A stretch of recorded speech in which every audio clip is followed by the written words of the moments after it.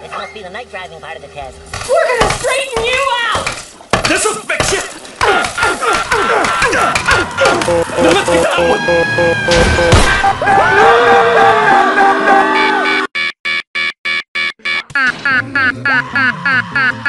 one!